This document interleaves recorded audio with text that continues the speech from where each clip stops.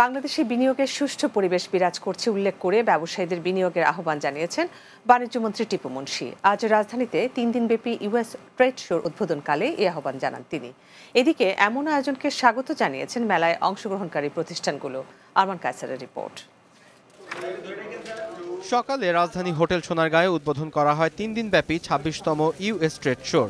এতে অংশ নেয় দেশ বিদেশের নানা প্রতিষ্ঠান। বাংলাদেশে বিনিয়োগের নানা সম্ভাবনার কথা তুলে ধরে ব্যবসায়ীদের বিনিয়োগের আহ্বান জানান বাণিজ্যমন্ত্রী এ সময় জিএসপি নিয়েও কথা বলেন তিনি lot of items we export and small things to say.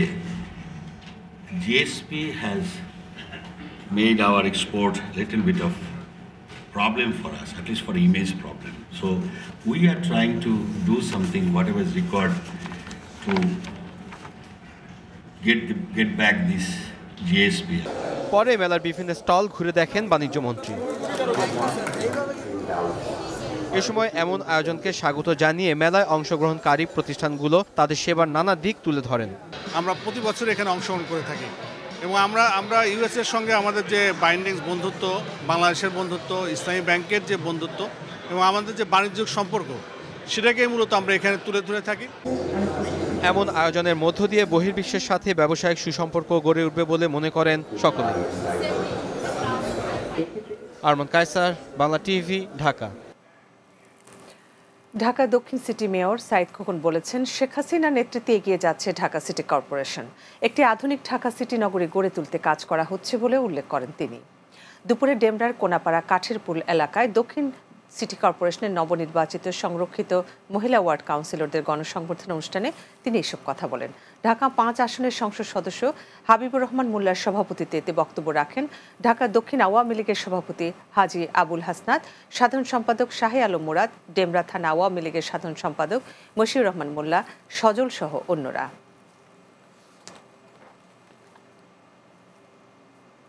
নেতৃত্ব বিকাশের জন্য ছাত্র সংসদের কোনো বিকল্প নেই বলে মন্তব্য করেছেন তথ্যমন্ত্রী ডক্টর হাসান মাহমুদ। দুপুরে চট্টগ্রাম বিশ্ববিদ্যালয়ের রসায়ন বিভাগের পঞ্চাশ বছর উদযাপন উপলক্ষে আয়োজিত অনুষ্ঠানে প্রধান অতিথির বক্তব্যে মন্ত্রী এ মন্তব্য করেন।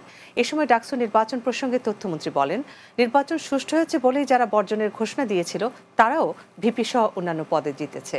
এ সময় চট্টগ্রাম বিশ্ববিদ্যালয়ের চাকসু নির্বাচন সম্পন্ন করারও আশাবাদ ব্যক্ত করেন তিনি। অনুষ্ঠানে চট্টগ্রাম বিশ্ববিদ্যালয়ের উপাচার্য professor doctor Iftikhar Uddin, professor Abdul Mannan উপ উপাচার্য ডক্টর শিরিন আক্তার, প্রাক্তন মুখ্য সচিব আব্দুল করিম সহ রসায়ন বিভাগের সকল শিক্ষার্থীরা উপস্থিত ছিলেন। সেখানে কিছু ত্রুটি বিচ্যুতির কথা বিশ্ববিদ্যালয় প্রশাসন স্বীকার করেছে। কিন্তু আঠাশ বছর পর যে নির্বাচন অনুষ্ঠিত হয়েছে, এটি হচ্ছে একটি ইতিবাচক দিক। নির্বাচন সুষ্ঠু না হতো। কিছু ভুল ত্রুটি ছিল।